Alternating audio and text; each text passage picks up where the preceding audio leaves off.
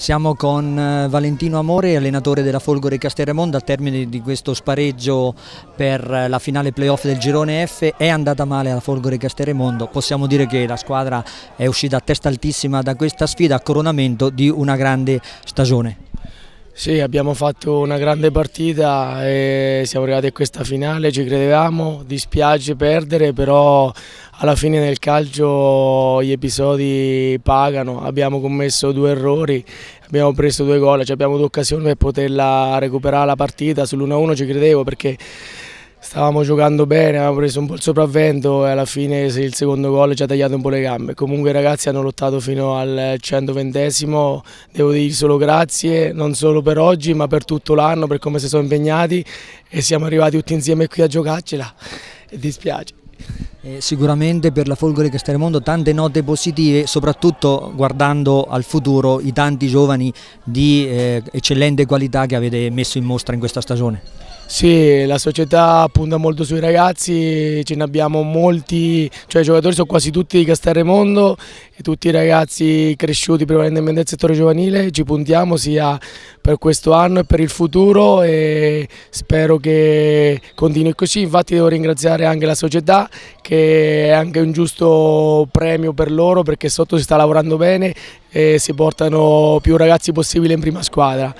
L'obiettivo è quello di valorizzarli e di far bene, cercare di far bene in futuro. Giulio Gagliardi, allenatore del Camerino, naturalmente soddisfattissimo come tutti i suoi ragazzi per questo importante successo che proietta il Camerino allo spareggio contro la Pinturetta dove si giocherà la promozione in prima categoria. Tornando alla partita che abbiamo eh, visto poco fa, ehm, secondo te Giulio cosa è riuscito il Camerino a mettere in campo per riuscire a vincere questa partita di più di un avversario tostissimo come dicevamo anche sabato scorso? L'anima, noi abbiamo messo l'anima, ci siamo difesi insieme, uniti, sicuramente non siamo stati belli perché onore e merito va al Castellmondo che ha cercato di fare la partita, noi i primi 20 minuti abbiamo controllato, abbiamo girato, l'abbiamo colpiti e dopo abbiamo cambiato un po' la situazione, ci siamo messi a due punti, abbiamo, li abbiamo colpiti, ci siamo ridifesi, hanno risegnato meritatamente e noi meritatamente con eh, massima umiltà abbiamo risegnato. Questo è il calcio, loro dovevano fare la partita perché dovevano cercare di vincere, noi sapevamo le nostre armi che in contropiede sono omicidi micidiali